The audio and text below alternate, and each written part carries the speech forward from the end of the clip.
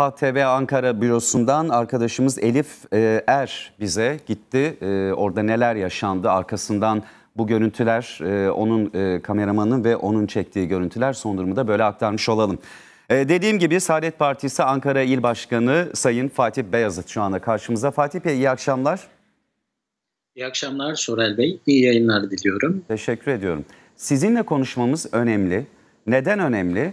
Çünkü olaylar başladığından e, başladığı andan itibaren iki gün boyunca sizler o mahalleyle irtibata geçtiniz. Ne olduğunu anlamaya çalıştınız, konuştunuz. E, o yüzden bilgileriniz, aktaracaklarınız bizim için değerli.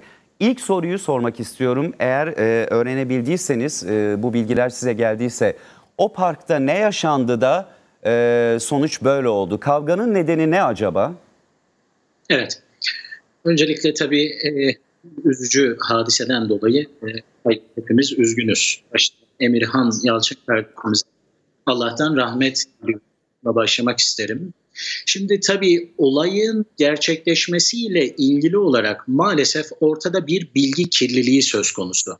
Ancak e, biz e, yerinden olayı dinlemek, oradaki insanlarla bir araya gelmek, doğrusunu öğrenmek adına bir takım araştırmalarımız oldu. Oradaki e, mahalle muhtarları vesaire onlarla da irtibata geçmiş olduk. Hı hı. Şimdi şeyden önce Battal Gazi mahallemizde bulunan bir parkta olay cereyan ediyor. E, bu olayın birebir görgü tanığı olan e, kadın kollarımızdan bir temsilcimiz, mahalle temsilcimiz aslında olayın birebir görgü tanığı. Ondan bize aksettirilen şekliyle ben e, olayı anlatmak istiyorum. Lütfen. Şimdi o parkta Suriyeli iki gencin olduğu ve o esnada parktaki elektrik direkleri, aydınlatma direklerini salladıkları, e, o direklere zarar verdikleri e, söyleniyor.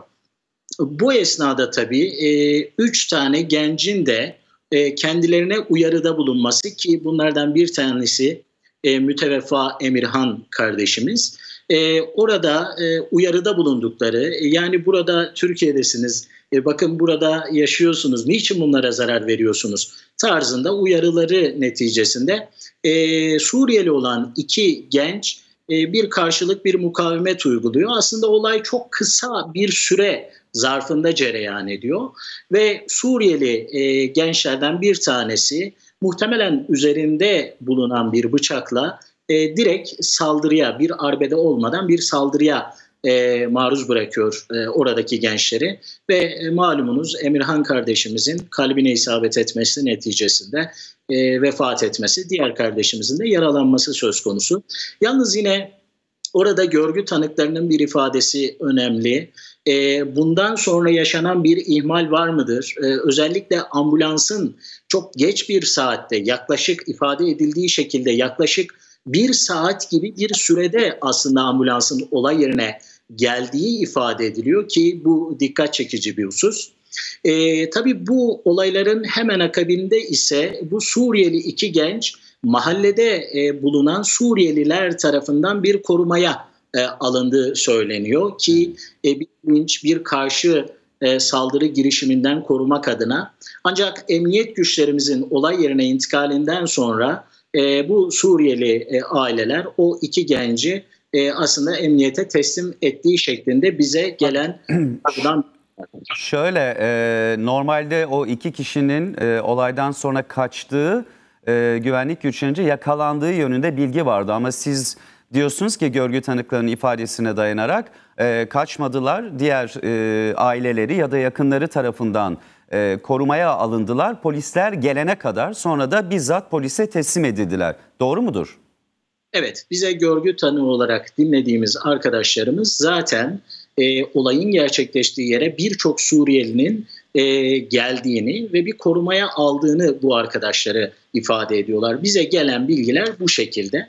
E, emniyet güçleri geldikten sonra da emniyet mensuplarına e, teslim edildiğini söylüyorlar. Ha, tabii bu esnada e, orada bu gençlerin zarar gören arkadaşlarımızın, gençlerimizin ailelerinin de olay yerine intikali, hatta e, birçok kimsenin olay böyle bir olay cereyan etti, e, hemen buraya gelin şeklinde de organize oldukları ifade ediliyor. Ama tabii daha dikkat çekici olay şu, yani bu aslında e, bireysel olarak yaşanan bir hadise.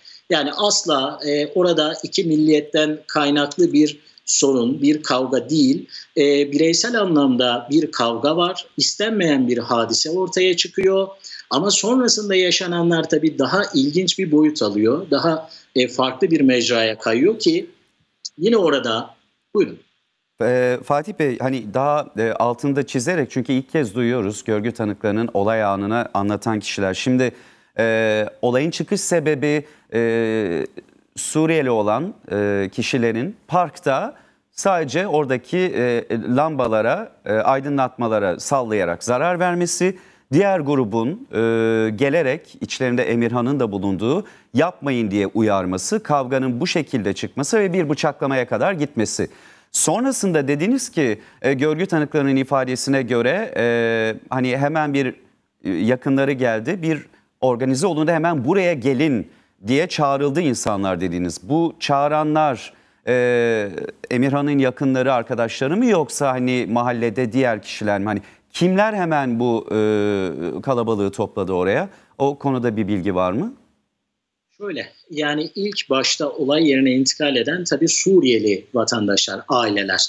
Ee, orada böyle bir kalabalık Suriyeliler tarafından oluşturulduğunda ise oradaki e, Türk vatandaşlarının, zarar gören gençlerimizin e, arkadaşlarının, yakınlarının olaydan haberdar olduktan sonra e, diğer aileleri, diğer arkadaş çevrelerini arayıp oraya davet etmesi. Yani aslında diğer gençler bu, çağırıyor, tamam.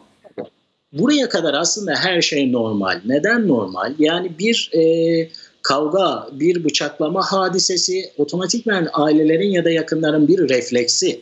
Asıl vahim olansa bundan sonra yaşananlar. Yani bu anlattığımız kısım aslında ilk gün olayın sıcağı sıcağına gerçekleştiği ana dair.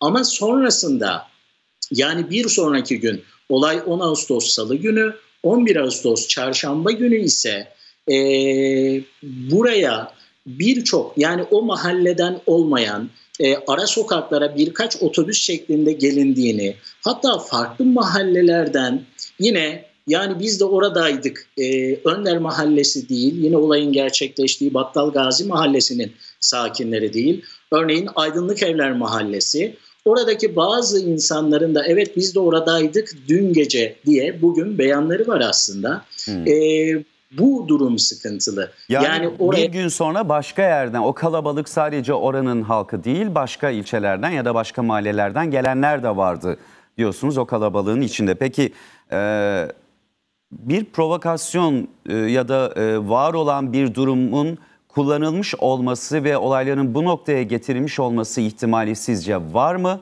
E, önce bunu sorayım. Evet, bizim açımızdan var. yani şöyle ki burada ikinci gün yaşanan hadiselerde hakikaten ciddi manada bir provokasyonun olduğuna bizler şahitlik ettik. Orada yerleşik olan e, mahalle sakinleri de aynı kanaatteler. E, oraya farklı mecralardan, farklı yerleşim yerlerinden gelen birçok sayıda insan, mahallenin tanımadığı insanlar ve onların doğrudan e, olayın e, özelinde değil ama ya farklı bir mecraya taşıyarak Suriyeli e, ailelerin işte 17 tane iş yerinin e, tahrip edildiği bilgisi var bizde. Araçların ters çevrildiği, e, evlerin taşlandığı, keza yine hepimiz zaten basından da gördük. E, bir Suriyeli çocuğun e, kafasının yarılması hadisesi. E, direkt buraya e, aslında olaylar odaklanıyor. Yani bu açık ve net bir şekilde provokasyon olduğunu bize gösteriyor. İkinci bir husus maalesef bizim buradaki üzüntümüzden bir tanesi de şu ki e, şimdi yani siz e, haber bülteninizde belki